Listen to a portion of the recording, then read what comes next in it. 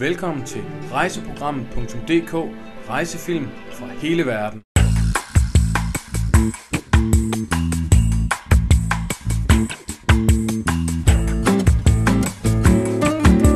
Man kender måske sangen A Girl from Ipanema, altså en pige fra Ipanema. Og det sted, den Ipanema, der synges om, det er sandelig den strand, som jeg står på lige her. En af Rios smukkeste, mest passionable og bedste strande.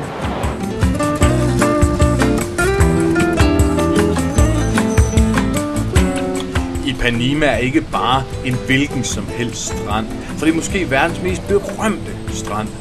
Og Ipanemas berømmelse stammer helt tilbage fra 60'erne, hvor stedet blev kendt som centrum for bossa nova.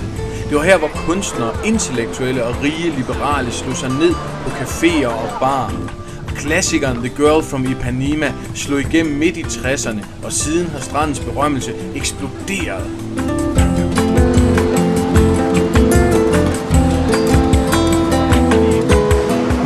Afdeling på stranden har sit eget navn, eller nogle steder er det faktisk et nummer. Lige her om bag ved mig, der ligger nummer 9.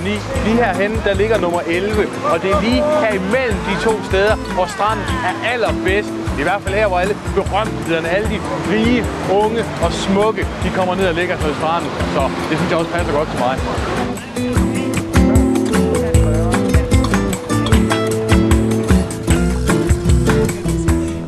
Lima er måske Rios dyreste og mest fashionable sted. Det er her, hvor de rige og berømte hænger ud. Og udover det, så er Ipanema faktisk blevet kåret som verdens mest sexede strand af The Travel Channel. Hvordan en strand kan være sexet, ja, det må være op til The Travel Channel. Men der er ingen tvivl om, man kan godt fornemme og mærke, hvad de mener, når man går rundt på Ipanema.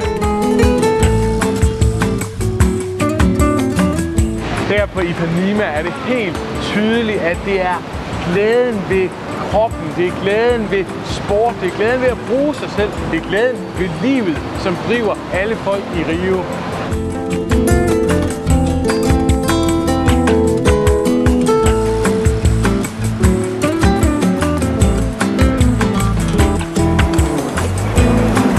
Ah, bliver det vist ikke mere rigtig Rio Strand, end når man får en frisk kokosnød, og så bare lige sætte sig ned og nyde den ved stranden.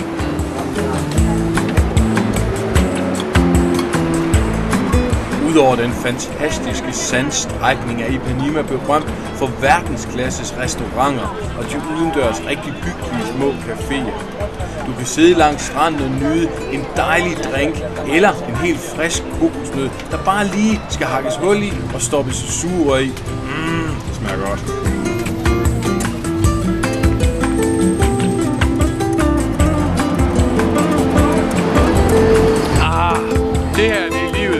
Sidder her med helt frisk kokosnød, lige åbnet. Den er simpelthen, ej, den er forfriskende. Ipanema stranden lige herude foran. Det er det perfekte sted at sidde og nyde en lidt doven eftermiddag her i Rio. Rejseprogrammet.dk Det er gratis, det er dansk, det er levende billeder fra nær og fjern. Rejseprogrammet.dk Det er rejsefilm fra hele verden.